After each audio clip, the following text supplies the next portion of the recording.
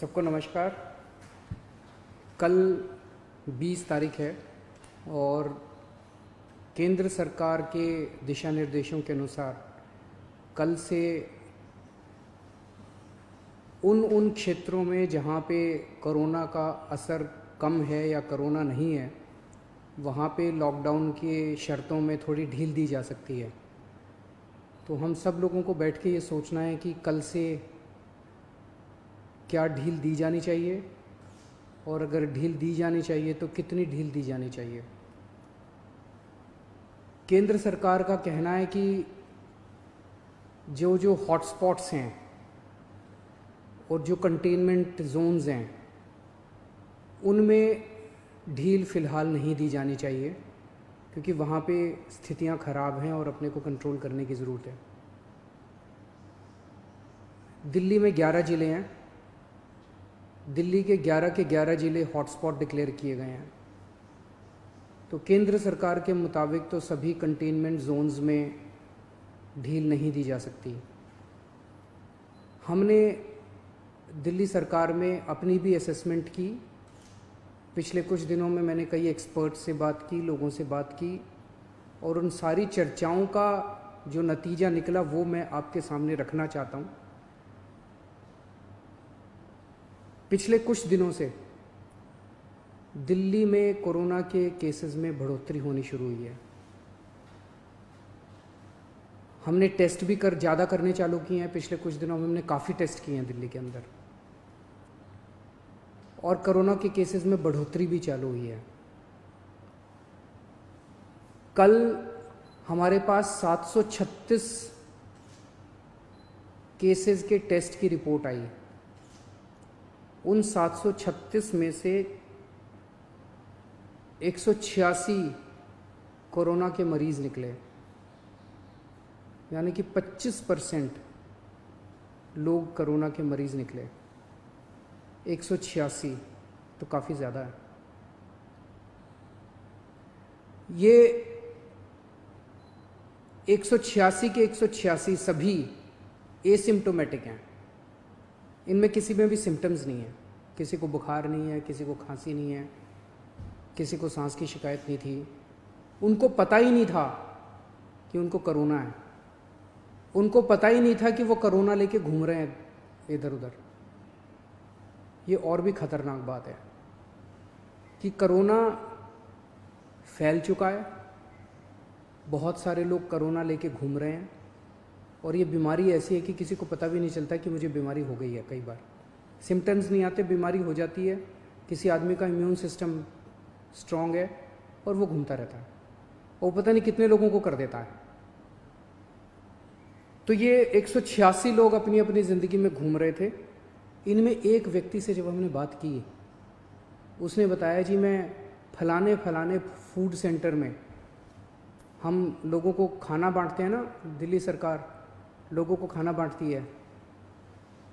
पका हुआ खाना रोज़ देते हैं हम लंच और डिनर वो कहता है, जी, मैं पिछले कुछ दिनों से रोज़ सरकार के फ़ूड सेंटर में जाके खाना बंटवाने का काम कर रहा था।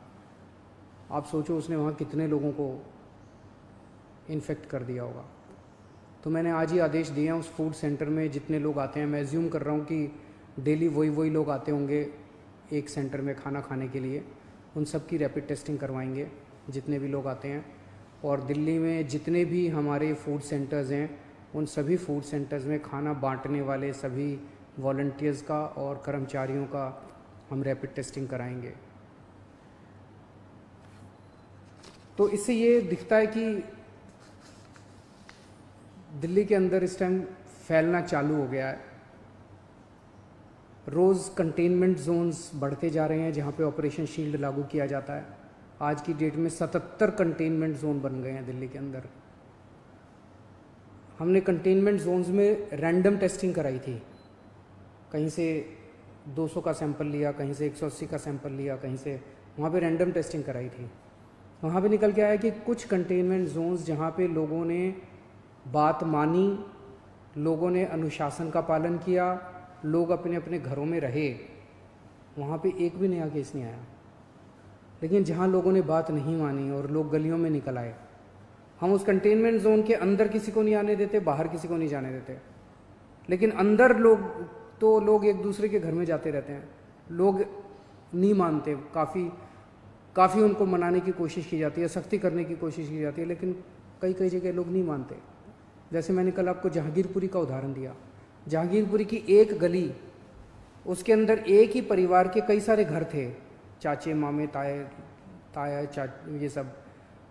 उनमें एक ही परिवार के 26 केस पॉजिटिव निकले क्योंकि वो माने ही नहीं। कंटेनमेंट जोन होने के बावजूद वो एक दूसरे के घरों में जाते रहे। तो जहाँ जहाँ कंटेनमेंट जोन में लोगों ने बात मानी है, वहाँ एक भी नए केस नहीं मिले। और जहाँ लोगों ने बात नहीं मानी, वहाँ पे कुछ कंटेनमेंट जोन्स में कई नए केस निकल के आए हैं। तो एक चीज़ तो यह है कि दिल्ली में कोरोना तेज़ी से फैल रहा है। पर अभी स्थिति नियंत्रण के बाहर नहीं है। स्थिति नियंत्रण में है। स्थिति चिंताजनक है, पर घबराने की ज़रूरत नहीं है। अपने को सबको अनुशासन में रह के इसको कंट्रोल करने की ज़रूरत है।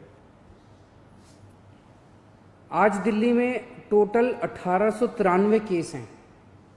मोटा मोटा 1900 मान लो 1900 केस हैं। 1900 में से 26 आईसीयू में हैं और 6 वेंटिलेटर पे हैं। लगभग तिरालीस लोगों की मौत हो चुकी है। 26 आईसीयू में छः वेंटिलेटर पे हैं। आप सोच के देखो कि अगर लॉकडाउन नहीं होता तो क्या होता? दूसरे देशों का जो हाल है, भगवान ना करे अगर ऐसा अपने देश में होता। अगर लॉकडाउन ना होता मान लो तीन हज़ार लोगों को आईसीयू की ज़रूरत पड़ जाती। मान लो दो ढाई हज़ार लोगों को वेंटिलेटर की ज़रूरत पड़ जाती है और ज़्यादा लोगों को। इतने तो आईसीयू ही नहीं थे, इतने तो वेंटिलेटर ही नहीं है।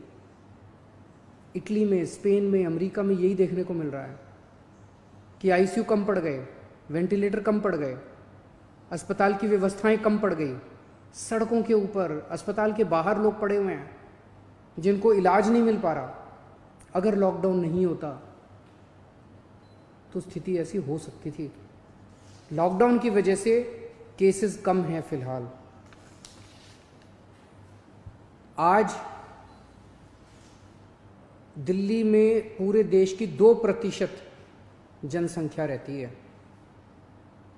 लेकिन पूरे देश के जितने कोरोना के मामले हैं, उसका 12 परसेंट मामले कोरोना के दिल्ली में हैं।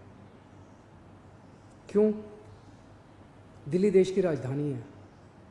इसीलिए दिल्ली को कोरोना की सबसे मुश्किल लड़ाई इस टाइम दिल्ली लड़ रही है। पिछले दो ढाई महीने के अंदर विदेशों से जितने लोग आए, वही लेके आए कोरोना विदेशों से। अपने देश में तो था नहीं। जितने विदेशों से लोग आए, सबसे ज़्यादा लोग दिल्ली में आए। क्योंकि दिल्ली देश की राजधानी है, अंतर्राष्ट्रीय एयरपोर्ट और भी कई जगह है, लेकिन सबसे ज़्यादा लोग यहाँ आते हैं, सबसे ज़्यादा लोग यहाँ आए।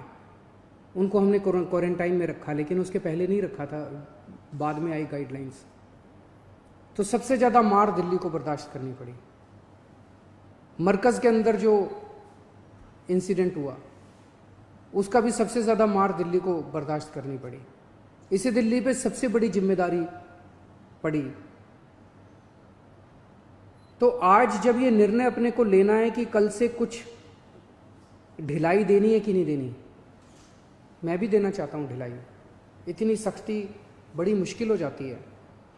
कैसे लोगों का गुजारा चलेगा? कैसे लोगों लोगों की रोजी रोटी चलेगी? कैसे लोगों का घर चलेगा? लोग बहुत मुश्किल में हैं।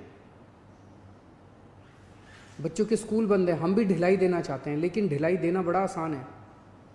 और ढिलाई दे दी, और स्थिति बहुत खराब हो गई। और उसके बाद अगर आईसीयू कम पड़ गए और अस्पताल के बेड कम पड़ गए और वेंटिलेटर कम पड़ गए और ऑक्सीजन कम पड़ गई और पता नहीं कितनी अगर जाने चली गई तो हम कभी अपने आप को माफ़ नहीं कर पाएँगे। इसीलिए इन सब चीज़ों को ध्यान में रखते हुए हमें लगता है अभी थोड़ा संयम बरतने की ज़रूरत है। हमने निर्णय लिया है अपने दिल्ली वासियों के ज़िंदगी का ख्याल रखते हुए, सबकी सेहत का ख्याल रखते हुए कि फ़िलहाल लॉकडाउन की शर्तों में कोई ढिलाई न दी, नहीं दी जाएगी। एक हफ़्ते के बाद फिर से हम सारे एक्सपर्ट्स के साथ बैठ के सबके साथ बैठ के इस पे दोबारा इसकी असेसमेंट करेंगे और अगर ज़रूरत पड़ी तो उसके बाद ढिलाई दे सकते हैं। लेकिन फ़िलहाल दिल्ली में किसी तरह की कोई ढिलाई नहीं दी जा रही है। नमस्कार।